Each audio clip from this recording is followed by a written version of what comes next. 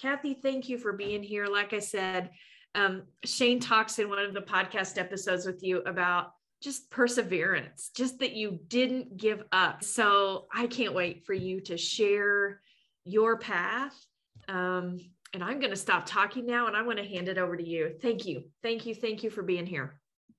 Thank you, Delyn. I am so excited to be here. And thank you so much, all of you, for being here, for letting me be part of your dinner time or your lunchtime or just a little bit of your entrepreneurial journey. This is where it all started for me in these flip lifestyle phone calls. So I'm Kathy, and I help middle school math teachers with lesson plans and resources so that they can teach with ease and still have a life outside the classroom. Uh, so, as Delyn mentioned, I started in 2016. It has been a journey to say the least. But now I am out of the classroom and I run my online business full time. Uh, so I started in 2016, the summer of 2016, really just creating my product, which really at the time was seventh grade math resources. All my stuff was super ugly, super basic, but it got the job done. So um, shortly after that, I, I uh, Kajabi didn't exist. I know many of you are on Kajabi. So at that time, Kajabi didn't exist. So all my stuff is on WordPress. My blog is on WordPress. I started my blog. And most importantly, I started my email list right from the beginning. And I got my first member within the first, I don't know, three months or so. But then he quit like a month later. And he told me that my materials were a little bit too hard for his students. So, okay, I'll just keep on trekking. So I didn't get another member until probably like six months later. And in that time, I just kept putting out blog, blog blogging is really my main pillar content. So whatever that is for you, whether it's podcasting, videos, for me, it's blogging. It still is blogging to this day. And so I just kept on, kept on keeping on. And in 2018, so two years later, Shane and Jocelyn held their very first live event in Nashville. And at that time, I had about 40 members.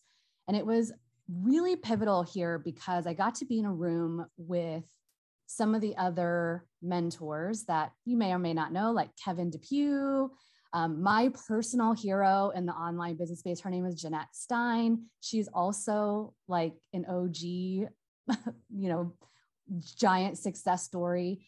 Jeanette changed my life because she was also an educator. She had six kids and was still able to build her online business. And so I got to meet her.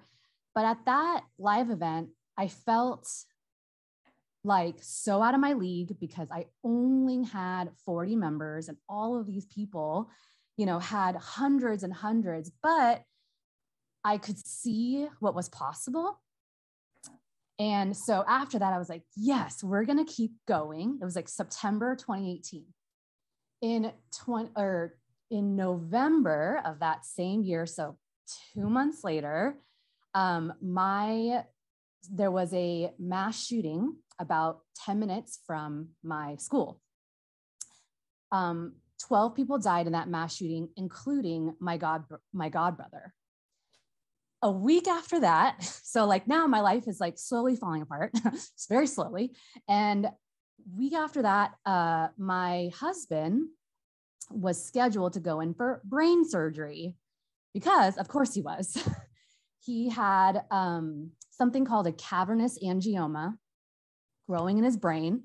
He was having these like weird seizures. And so that was happening.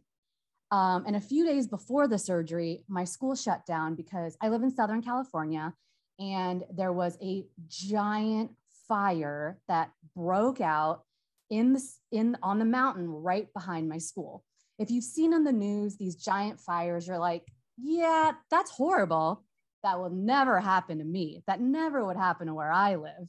And that's exactly what I thought. Um, so my school had shut down for the night. I was pretty like I really didn't know what to do because I was in this like my life is falling apart because I just lost somebody. My husband has to have surgery. I am a, I'm a full-time teacher still. And if you know anything about teaching, if you have a teacher in your life, you might know that teachers don't take days off. Okay. When I left teaching, I had over 300 days of sick days because I did not take days off because it's more work to be gone than to write sub plans, make all the, have all your materials ready for a sub, to prep your students. Like it's so much work. When you hear a teacher say that, it's true. Okay. Like they're not exaggerating. So my husband's surgery was supposed to be on a Friday. And I was sitting there thinking, oh my God, okay, how many days could I realistically take off? All right, I'll take off Friday and I'll probably take off Monday, but I'll be back Tuesday because I can't take off more than two days. Like I would never be able to take off more than two days. Not that my principal wouldn't be okay with it. It was me, like it was me that just felt like I could not leave my class. I could not leave my students. And, I, you know, and so I was sitting here like thinking, oh my gosh, like so, I don't want to use the word thankful that this fire happened, which shut down school. But I was so thankful to God that possibly my school could be closed on those days where I had to be absent. And actually, my school ended up being closed for 10 days, which historically in my 13 years of teaching has never, ever happened outside of COVID. Okay. Um, and so it, I was in this moment of like, wow, something is really wrong here. If I'm thankful that this fire shut down my school, but it allowed me to be at home with my husband for 10 days after his surgery. And thankfully, because he had um, like some complications after the surgery, we had to go back to the hospital. And I he would have possibly died at home if I hadn't been there to be able to drive him to the hospital.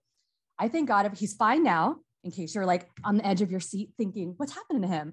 Um, he's fine now. But at that time, it was like we had to talk about what what do we do if you die during the surgery what if you what do we do if if you you know there were complications and i had to pull the plug do i pull the plug like we're you know are young in our marriage and we had to have this conversation about death and it was insane and it's like mass shooting school like just it was so crazy that i just knew that i wasn't ready to quit teaching at that time but I knew that I needed an option, right? Because options are always good. So 2019 came. Shane and Jocelyn had their live event again, this time in Kentucky. And I was at 140 members. I grew my membership about 100 in that year. And I still felt like not good enough. Like these people are big time. They have hundreds, thousands of members. And I'm just here with my measly 135 people. And I know I say that not because I understand that it was it's a that's a lot of people and at that time I would have given anything when I first started to have 135 but I just you know like you're just always on this I just always felt like I need more I need more I need more. It's never never ever ever good enough. And you know but it's okay. So I kept going. 2020 came. This weird the school was like mm, something's going on. We're going to close for a day. Principal is going to come back and let us know. All right we're going to close for two weeks. And then we all know that you know school ended up being for me anyway school ended up being closed for two years in that time um, so school closed march of 2020 and the month before so february of 2020 i went with my husband i was doing um, in northern california a teacher conference where I was a, uh, like a vendor at the show, not not the show, a vendor at the conference, and just just you know there with my materials. And I told my husband on the way home, I think at the end of this year, I'm gonna think about maybe not coming back next year. I'm gonna finish out this year. I'm gonna think about it because maybe. And my husband has always been so supportive, but he was like, oh my God, like, how are we going to afford for you to quit your job? Like, that's like, ugh, we can't do that. I'm like, just watch, just watch, I'm gonna do it. And so 2020 hit, we all, you know, went into hibernation and I kicked it into high gear because I knew I was in this. I was going to distance learning like everyone else. And I delivered I, my whole business, not my whole business, but I added a whole nother section of my business with digital resources because that's what teachers needed, because that's what I needed. I created brand new stuff and it took a lot. I moved my entire membership over so that to a new system so that it would be a lot, I don't know, better, better of an experience.